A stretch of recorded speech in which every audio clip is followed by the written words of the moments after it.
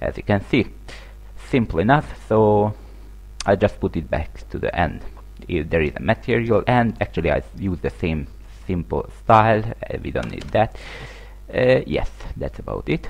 And we need one last more check if I find the correct else if block yes this will be it. The VT so the vertex texture coordinate basically. So else if coord I and 0 equals to V and then the next equal to T so coord I and then the next so the first character equals to T. Then then so vertex coordinate basically. Then I just read it obviously to the texture coordinate I really hope that I make the texture coordinate or not.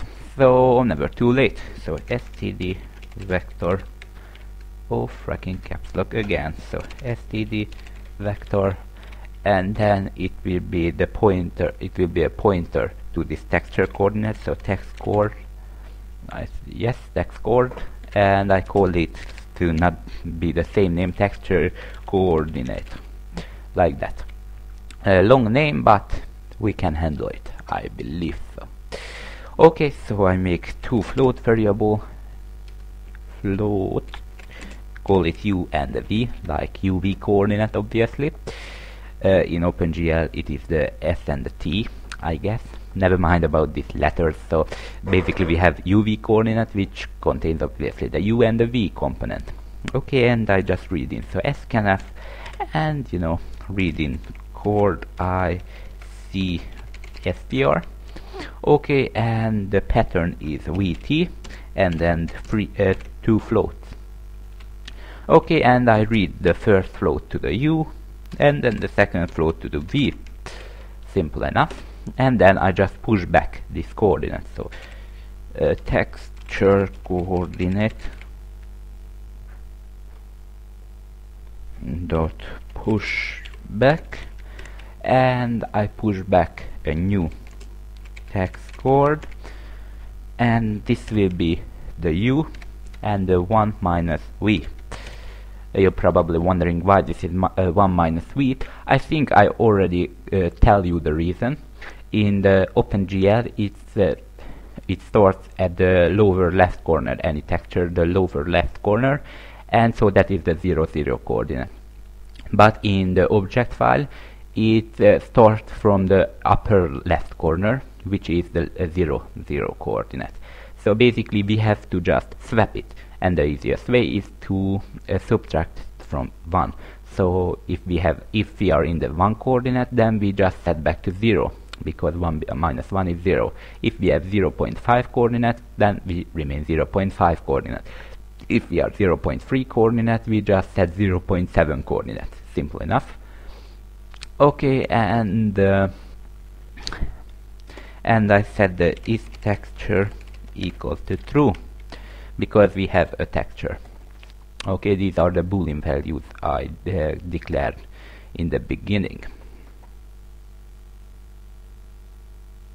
Okay actually we need one more check to make sure that we have materials. So if materials dot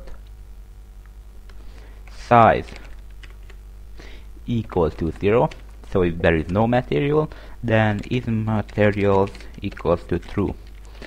Else the is materials equals to true. Oh what am I doing? So this is the false and that is the true. Okay so if there is no material then uh, the obviously there is no material. If there is material then we have material. This is just as simple as that okay I think we can go to the draw right now. I'll declare another variable.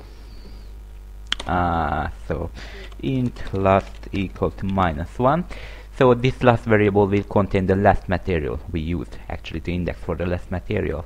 So we only have to declare a new material if this last is uh, not equal to the current. Yes and then let's uh, draw it so I just go down here uh, so here and I make an if so if the current material. So if last not equal to the current materials, which is the faces i, and we get the mat from it, so ma like material, because the face uh, faces mat variable contains the index for the material. And we have material, so end is material. Then I just set the material. So float diffuse so I create an array of from the diffuse. This is the materials and the index is in the inside the faces. So faces i mat and we get the diffuse 0 from it. Okay and just get the others so one two. So this will be the first and this will be the second actually the third. And I set for now I just set it to 1.0 so the transparency we don't need transparency light now although later we can set it to the alpha.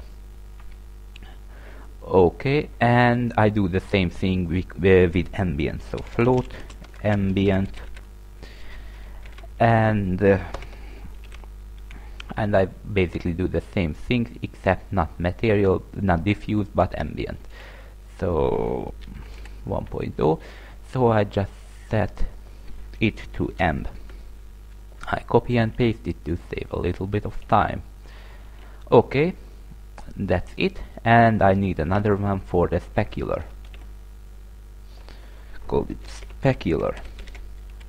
Okay, and I just set it to spec, like specular. Specular and specular and specular. Okay and I set uh, and I set it with GL material FV so GL material FV and I set to the GL front. Actually in in the object file every polygon is facing toward us so it is enough to just set the GL front but you can set the GL front and back as well. So GL diffuse and I just give it to the diffuse.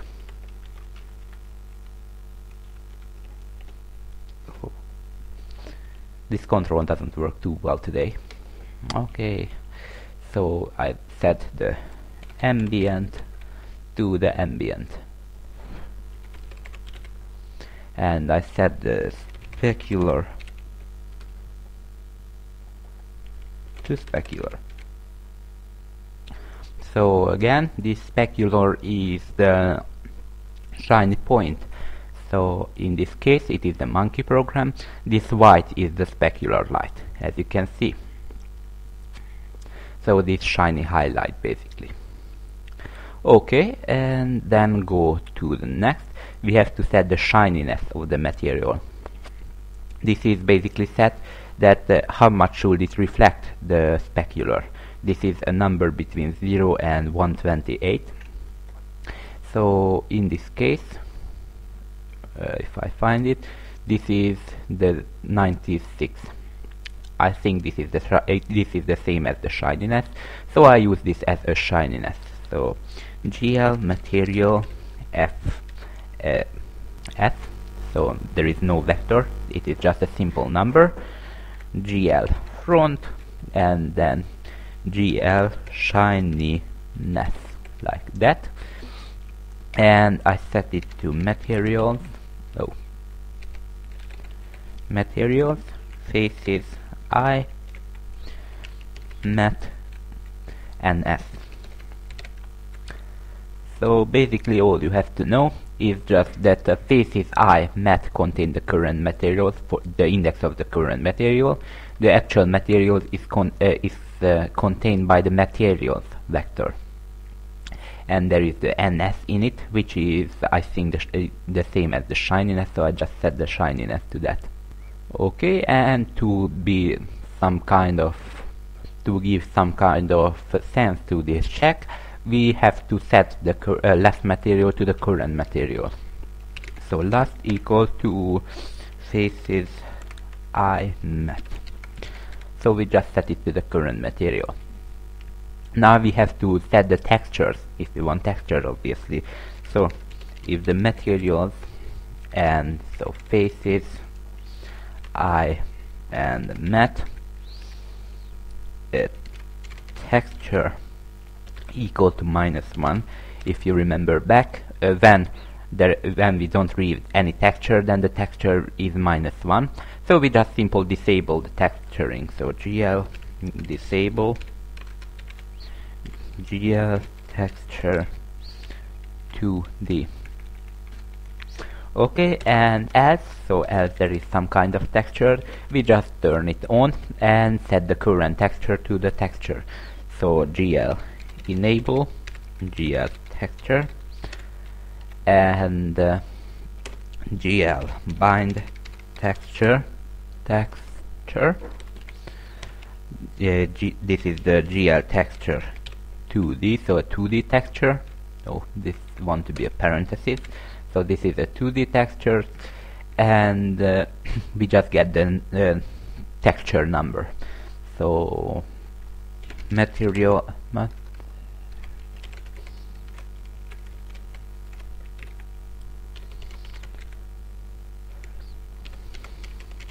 so we just get the texture number and bind it. So we will use it basically. And I think that is about this.